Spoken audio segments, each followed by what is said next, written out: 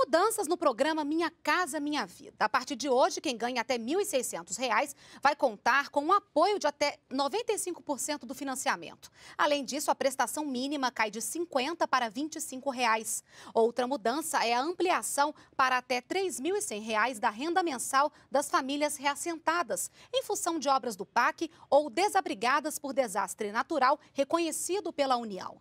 Neste caso, não haverá contribuição financeira do beneficiário.